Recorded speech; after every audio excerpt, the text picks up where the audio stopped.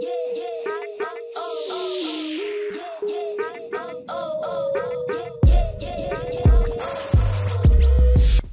up? What's happening? What is popping? What's going on, you guys? Welcome back to another great edition of Symone with the Speezers.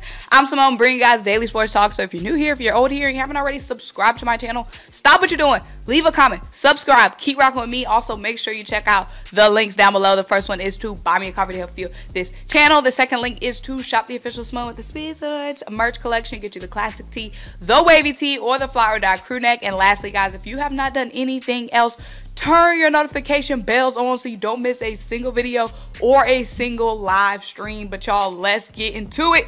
You've seen the title, you have seen the thumbnail. It's being reported by Keith Pompey and it's it's blowing up everywhere. Something that we we talked about months ago. This this really came out months ago that James Harden is expected to want to return to the Houston Rockets. Um, this offseason. So we know James Harden made his name for himself in Houston. He has probably family out there. He has his businesses out there. You know what I'm saying? The clubs, they all out in Houston. You know what I'm saying? So it's no surprise at all that James will want to go back to Houston, especially being at the back end of his career. That's probably where he wants to go and retire. But as of right now, he is still with the Sixers. Doc Rivers is gone. What? We are kind of stuck between a rock and a hard place here because one thing's for sure, people don't know if he's saying that to try to up his leverage and, and get more money out of the Sixers or he really wants to go back. So if he wants to leave, it's one of two things. He could end up walking for nothing or we could try to get something back in a potential sign and trade. But y'all, we don't have that many options. Like, like any type of star that we're going to acquire on this team in the, in the offseason is going to have to come via trade. What we going to do without James Harden is my question. Now, I know I was on here talking all that shit after the loss, talking about some everybody get up out of town, James, go, Joel, go, you know what I'm saying? Caught up in the moment. But if I'm being realistic, if I'm being a thousand percent honest, it might be in our best and I'm not saying give him like a crazy deal if that's what he's asking for. But it might be in our best interest to try to keep James Harden because let's look at the free agent list. Uh, Fred VanVleet, D'Angelo Russell, Russell Westbrook, Kyrie Irving, dud dud dud dud duds. Dud dud dud dud duds. Like I wouldn't mind having getting D'Angelo Russell on the team like as a, a um just a role player, but D'Angelo Russell is not no lead dog. Um, George Hill, Ish Smith, Cory Joseph, Dennis Schroeder, um, Dennis Smith Jr., Aaron Holiday, Michael Carter Williams, Gabe Vincent.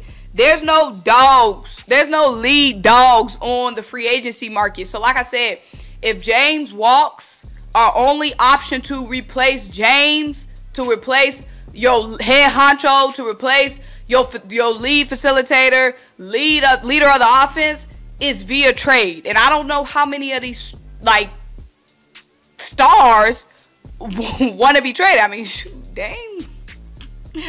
Dame was just talking on social media talking about, you know, if y'all want to trade me fans. Because apparently the, the Trailblazers fans is a little bit disgruntled with what they got going. I mean, of course, they haven't been doing shit. You know what I mean? Like, having a player like Dame is fire and fun. But at the end of the day, you want to win championships.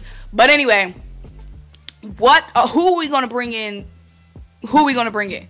If James leaves, who who's who's next? Who's coming next? Because like I said, there's no there's nobody on the free agency market that's gonna replace James. That can replace James. The only way we can replace James, like I said, is via trade, and it's we have to trade and bring a star in here. And but who? So that's what I'm saying. Given the market right now, it's probably in our best interest to try to keep James at least for a year and a half um, two years, definitely not like a four year deal. Um, we still have Tobias Harris, whose, whose, contract is expiring, so it'll be easier to trade him. But we're going to have to make some real moves this off season. So if James wants out, like if James wants to go to Houston, James is going to do whatever he wants. We saw when he wanted out of Houston, he went out. And he was able to, to um, get out of Houston. When he wanted to get out of Brooklyn, he was able to get out and go. Like James is going to get out and do what he wants. Like if he wanted, he going to get it. Period. He's he's made that clear. His agent has made that clear. Um, but I think right now right now it's in our best interest to try to keep James for the short term because like I said, y'all, Pickens is slim out here. Pickens is slim.